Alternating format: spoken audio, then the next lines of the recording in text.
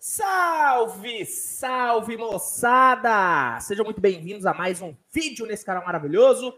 Vamos seguir os nossos trabalhos, seguir a nossa programação dessa quinta-feira falando sobre ela, a votação para o All-Star Game da NBA 2023. Seguinte, hoje a NBA divulgou a última parcial da votação, a terceira e última é, parcial da votação para o All-Star Game. Antes de tudo, deixar claro uma coisa, tá?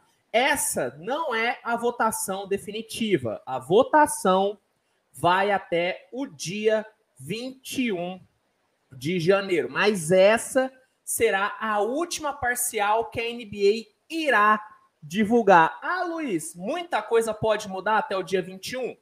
Eu acho difícil. Acredito que os que estão liderando nessa última parcial vão ser os que vão liderar até o final. Mas é importante esclarecer que não é o final da votação. A votação ainda vai até o, o dia 21. E outra coisa que é importante esclarecer, tá bom? Aqui, aqui é a votação popular que vai escolher os titulares. Os reservas serão escolhidos pelos treinadores. Quem irá escolher os reservas serão os treinadores da NBA. Serão os votos dos treinadores que decidirão quem serão é, os reservas de cada equipe. Ao todo, sete reservas no Oeste, sete reservas na Conferência Leste, tá bom? Então, feito né, os esclarecimentos, vamos aqui analisar a última parcial da votação do All-Star Game. Antes, deixe seu like, se inscreva no canal, que é muito importante, ajuda muito o meu trabalho. Outra coisa que eu quero deixar clara, tá? Se por acaso você estiver ouvindo um barulho de chuva no fundo, é porque realmente está chovendo para o caralho aqui na minha cidade. Caiu um temporal absurdo aqui, mas como eu sou condenado a falar, como diria Luiz Felipe Freitas, condenado a falar, eu tenho que produzir esse conteúdo, eu tenho que dar minha opinião sobre a, essa última parcial, estando chuva ou estando sol. Então, pelo comprometimento com o conteúdo, eu estou aqui trabalhando mesmo com uma chuva simplesmente absurda. Então, peço desculpas caso tenha um barulhinho de chuva aí no fundo do vídeo. Saiba que eu estou fazendo de tudo para que esse barulho não atrapalhe a gravação.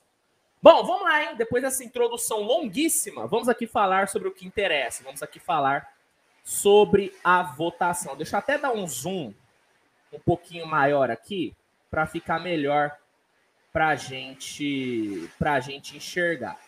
Na verdade, deixa eu, deixa eu tirar, senão não vai dar para ver qual conferência que é qual. Bom, show de bola, galera. Vamos lá. Finalizamos né, essa última parcial tendo dois capitães diferentes. Né? Eu tinha falado na segunda parcial, na primeira, né? Não, perdão, na segunda parcial que saiu, caramba, minha linha do tempo está maluca. Como diria Dr. Brown, né, de Volta para o Futuro, minha linha do tempo está maluca, Marte. Como eu disse na análise que eu fiz da segunda parcial que saiu, a tendência seria que o Yannis ultrapassasse o Kevin Durant e se tornasse o capitão na Conferência Leste por conta da lesão do Durant. Né, as pessoas vendo que a probabilidade do Durant não jogar seria muito alta, as pessoas iriam votar mais no Yannis para termos dois capitães jogando. E foi isso que aconteceu. O Yannis assumiu a liderança na Conferência Leste, é o jogador mais bem votado na Conferência Leste, com 5 milhões 970 mil 196 votos. Né? São mais de 100 mil votos a mais do que o Duran. Muito provavelmente o Yannis será mesmo capitão do Leste, o que para mim é merecido. O Yannis está fazendo uma baita temporada. Tem que ver se ele vai, né? Jogar, porque ele está lesionado, ainda não foi dada uma previsão de retorno para o mas acredito que ele vai voltar é, a jogar, e aí teremos LeBron e Yannis escolhendo as equipes, segunda vez que isso acontece, né? Os dois já foram capitães uma vez, uma ou duas, acho que foi uma vez só, depois que esse sistema de votação foi implementado. Então, novamente, teremos LeBron e Yannis como capitães, o que eu gosto bastante, porque o Yannis ele escolhe muito melhor os times do que o Duran. E outra, o Yannis vai jogar, né? Então é importante ter um capitão jogando. Essa é a primeira novidade, o Yannis assumindo assumindo a liderança. Segunda novidade, que não é tão novidade assim, é o Jason Tatum se consolidando como titular na Conferência Leste, né? Ele passou aí por um pouquinho mais de 200 mil votos o Embiid, então muito provavelmente teremos o Jason Tatum como titular, com a ausência do Duran, que muito provavelmente não joga, o Embiid vai acabar sendo titular também, mas vai ele vai ser o suplente, né? Ele vai substituir o Duran, ele não vai ser um titular oficial, porque o oficial seria, os oficiais, né, seriam Yannis, Duran e Jason Tatum como titulares no front court da Conferência Leste, mas pela ausência do Duran, o Embiid é, deve assumir. Outra novidade interessante, o que não é uma, uma grande novidade também, porque ele já apareceu em votações anteriores, mas o Banqueiro se consolidando no top 8, né? Banqueiro se consolidando no top 8. É bem legal ver um novato né, estando entre os oito mais bem votados no frontcourt da Conferência Leste. É um jogador que eu não duvido tá, que vá para o All-Star. Eu acredito que muitos treinadores vão votar no Banqueiro. Acho que tem alguns nomes à frente dele. Acho. Acho que, por exemplo, o Butler, acho que o Siakam, né? Acho que o próprio Caio Kuzma hoje tem jogado mais bola do que o Banqueiro. Mas acredito que o Banqueiro tem chance, sim, de pintar no time reserva. Mas é para mim é merecido. O Banqueiro tá realmente jogando muito bem. Tá? É um jogador que eu tenho gostado bastante. Então, acho muito legal. Ele tá entre os oito mais bem votados. Claxton, né, no top 10. Outro cara que merece muito.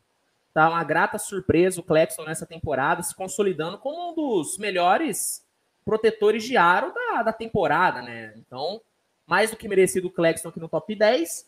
Em relação ao frontcourt do leste, não tenho mais nenhuma consideração. Sinceramente, não consigo dizer nenhum jogador do frontcourt do leste que esteja faltando. Para mim, os que mereciam estar estão aqui. Agora, nos guards, algumas ressalvas. Bom, Curry e Donovan Mitchell serão os titulares. Né? Os dois estão com mais de um milhão de votos é, à frente do Jalen Brown, que é o terceiro. Então, Mitchell e Irving serão os titulares né, na, na Conferência Leste. Então, muito provavelmente teremos um starting five do leste com Yannis. Não, assim, né? Os mais bem votados, porque os capitães vão escolher, mas os mais bem votados no leste, os cinco mais bem votados, serão Curry e Mitchell como guards, e Yannis, Duran e Tatum é, no front court. Então, Donovan Mitchell e Curry Irving né, dispararam, serão titulares. Temos o Jalen Brown em terceiro. Né, o Jalen Brown é um cara que, se tiver saudável, se ele tiver recuperado, muito provavelmente os treinadores vão escolher ele para ser um dos reservas. E aí vem a dúvida, né?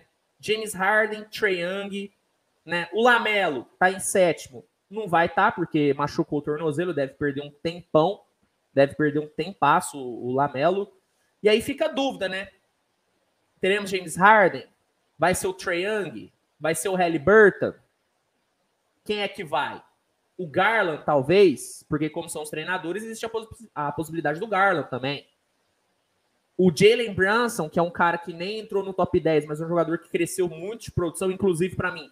É uma injustiça o Derrick Rose ter mais votos do que o Jalen Brunson. O Jalen Brunson tá jogando muita bola. Tá jogando muita bola. Então, os reservas, né, os armadores reservas do leste, vai ter uma disputa bem interessante aí, cara. Vai ter uma disputa bem interessante aí. Infelizmente, o Tyrese pode ter saído da disputa por conta da lesão, o que é uma pena, principalmente para mim, que eu estou defendendo muito o Halliburton, né? E acaba que a tendência é que ele não vá por conta da lesão, mas vai ter um pega para capar aí nos guards da Conferência Leste, tá? Sobre o Oeste agora. LeBron mais bem votado, de longe, né? Mas, cara, é, é, bizarro, mas ele tem quase mais de 2 milhões de votos a mais do que o Jokic, cara. Isso é, isso é absurdo. Isso é absurdo. LeBron titular, não tem para onde correr. O Jokic titular também não tem para onde correr. E aí, né, temos a, aquela, aquela questão que eu levantei no, na última análise que eu fiz da votação e, voto, e volto, né, a trazer aqui, que é a terceira vaga de titular no frontcourt do Oeste caindo no colo do Wiggins, né? Porque Anthony Davis e Zion não vão estar saudáveis, né? O Anthony Davis já foi dito que ele volta só depois do All-Star. O Zion também não deve jogar o All-Star, então Andrew Higgins vai acabar sendo titular é, porque vai ser, porque vai cair no colo dele. Todo mundo sabe a opinião, né? Quem me acompanha sabe a minha opinião. Que o, o engraçado é que a NBA, isso é muito louco, né? A NBA, ela mudou o sistema de votos para evitar que jogadores fossem titulares somente por conta do, do, de, um, de um fã-clube enorme, né? Na última temporada, o Andrew Higgins foi, foi pro All-Star por conta do K-pop, né? O Andrew Higgins ele tem uma relação ali com a galera do K-pop e os fãs do K-pop botaram o Higgins no, no All-Star. A NBA, vendo que isso aconteceu e vendo a revolta que causou, mudou o sistema de votação, mas mesmo assim, a Dub Nation, a torcida do Golden State Warriors, que, na boa, tá na sua razão, tem que votar nos jogadores do seu time mesmo, mas, né, vai acabar que, mesmo a NBA tentando evitar, o Andrew Higgins vai ser titular do All-Star novamente, né? É, o, o destino é o destino é muito louco, tá? O destino é muito louco. Ah, Luiz, é um absurdo. Para mim é um absurdo. Luiz, o Higgins é um jogador ruim? Não. É um jogador acima da média? É acima da média. Mas para mim não é All-Star. Não é All-Star. Se minha opinião é essa, o Higgins, para mim, titular no All-Star é um absurdo. Seguindo. Domantas Sabonis no top 10, até que enfim, né? Até que enfim botaram o Domantas Sabonis no top 10. Para mim é um cara que vai ser All-Star, tá? Se ele se recuperar bem da lesão, vai ser All-Star, tá? Os, os, técnicos vão escolher o Domantas Sabonis, eu não tenho dúvida nenhuma disso. Laurie Markkinen deve ser titular também, tá? Titular não, perdão, deve ser reserva também, deve ser selecionado, deve ser, deve ir pro All-Star pelo menos. Espero, né, que os que os técnicos tenham a a hombridade de botar o Markkinen no All-Star, porque vai ser um absurdo se ele não for. E aí a gente tem, né, Paul George. Acho que não vai. Tá? Acho sinceramente que o Paul George não vai. Draymond Green, para mim não vai. Kevin Looney também não vai, né? Acho que esses nomes não, não vão. É meio que um absurdo, vamos ser sinceros, é meio que um absurdo o Looney e o Green estarem entre os 10 mais bem votados. Mas jogam num time que tem uma torcida enorme, né? Então acaba que essas coisas acontecem, mas para mim é um absurdo. Então, no frontcourt é isso, né? A, a, grande novidade é a vaga de titular caindo no colo do Andrew Higgs. Entre os guards, Curry e Doncic por muito, né, cara? Isso é bizarro, né? O Curry mais de 5 milhões de votos, o Doncic mais de 4 milhões e o Jamoran que tem um, um fã-clube absurdo. Hum, é, assim, quase 3 milhões de votos a menos do que o Doncic. É, é bizarro. Luke e Curry serão titulares. Zero surpresa. Jamoran vai ir pro All-Star. E aí a gente tem também, assim como na Conferência Leste, um pega para capar entre os guards reservas, né? Porque beleza, vai o Shai, será que os técnicos vão escolher o Shai? Vão escolher o Darren Fox, que está fazendo uma temporada absurda? Será que vão sei lá, um Damian Lillard que está tendo um 2023 muito forte. Alguns nomes aqui, ó, Clay Thompson, Westbrook, é, Reeves, o Booker, muito por conta da lesão. Cara, não vão, tá? Na minha opinião, não vão. Tá? Eu acho que não vão. Eu vou ficar muito surpreso se Clay, se Reeves, se Westbrook ou se Booker forem pro All-Star. O Booker merece, mas acho que por conta da lesão ele não vai, tá? Acho que a questão é a lesão. Mas, mas a gente vai ter uma disputa bem interessante. Né? A gente vai ter uma disputa bem, bem interessante entre os guards reservas aqui.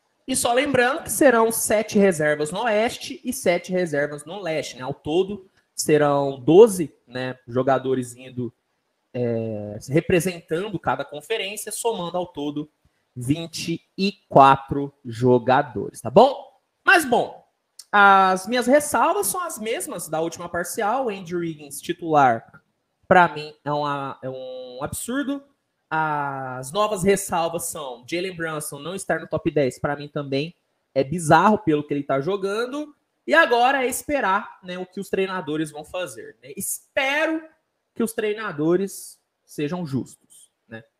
Luiz, se eles forem justos, quem é que vai? Olha, na minha opinião, eu não vou cravar todos, inclusive estou até querendo gravar um vídeo, né, trazendo os meus reservas. Mas assim, se os treinadores forem justos, tá? Vendo como que a temporada está se desenrolando. Laurie Markkinen vai, Sabonis vai, É, Shai deve ir. Fox deve ir. Tirando os titulares, tá? Tô tirando os titulares aqui. Tô falando dos reservas. É, na outra conferência, cara, Butler deve ir. Aqui é um pega para capar, né? Kuzma deve ir. Acho que pelo que tá jogando. É... E a galera vai chiar com o Kuzma, tá? Mas para mim é merecido. Acho que o Paolo tem chance. Acho que o Randall tem chance. Pegando aqui os guards, Jalen Brown vai ir, certeza. O James Harden vai acabar indo. Eu até coloquei o Harden como dúvida, mas ele, mas ele vai acabar indo. E aí tem, né? Trey Young, será que vai? Não sei. DeRozan, será que vai? Não sei. O Garland, para mim, tem chance, apesar dele ter sido bem pouco votado, para mim, eu acho que ele vai, tá? O Halliburton, se o Halliburton se recuperar a tempo, ele vai, tá? Acho que os treinadores vão votar aqui no, no Halliburton. Mas agora é esperar, né, gente? Agora é esperar. Não vou mentir, tô bem ansioso para saber quem serão os, os injustiçados, porque eu prevejo alguns, tá? Alguns injustiçados nessa votação. Mas, seguinte, o que, que você achou dessa última parcial? Né, acha que alguma coisa vai acabar mudando? Acha que algum jogador vai roubar a vaga de titular de, de alguém? Eu acho que não. Para mim, os titulares já estão muito bem definidos. E para você, comenta aqui que eu quero saber. Se gostou do vídeo, deixa o like, se inscreve no canal, compartilha com seus amigos e ativa as notificações, que é muito importante, ajuda muito o meu trabalho, tá bom? Galera, a gente se vê é, no decorrer do dia com mais conteúdo. Agradeço a sua audiência. Ah, dá uma olhada no primeiro comentário, no primeiro comentário fixado, porque vai ter um link que vai te oferecer sete dias grátis para testar o NBA League Pass, que é a melhor plataforma de streaming de jogos da liga, tá bom? Então você que ainda não tem o League Pass e quer testar por sete dias grátis, é só clicar nesse link e garantir já o seu, tá bom? Galera, é isso. Um grande abraço, tamo junto e até o próximo vídeo. Tchau, tchau.